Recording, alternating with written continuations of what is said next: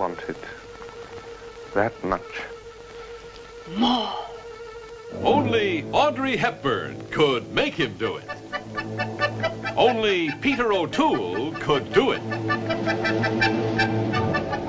Only three-time Academy Award director William Wyler could show Hepburn and O'Toole, the screen's greatest new romantic team, how to do it.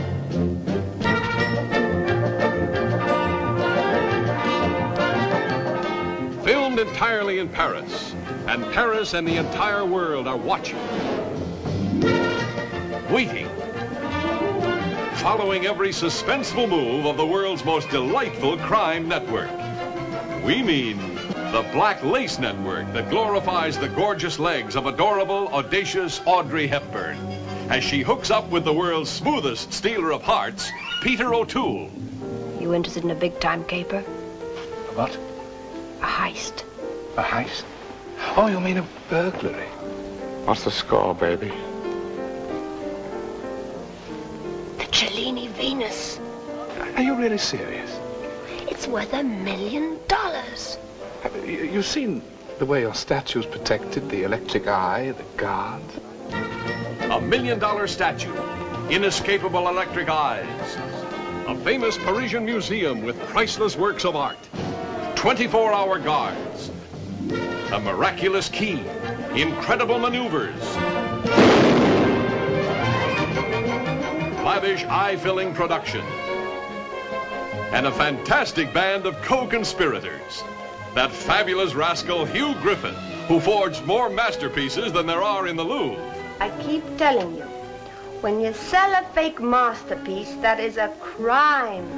But I don't sell them to poor people, I only sell them to millionaires.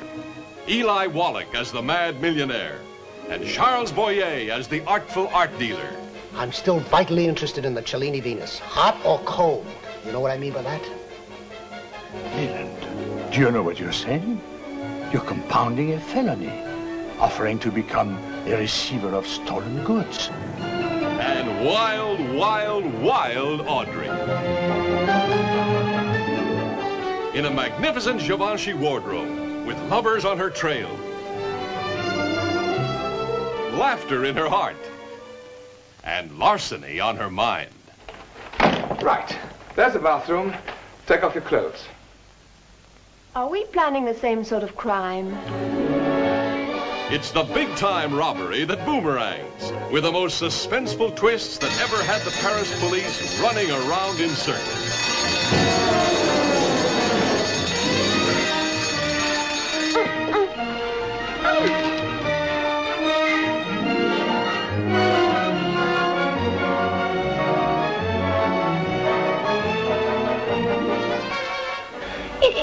Crime of the century, practically.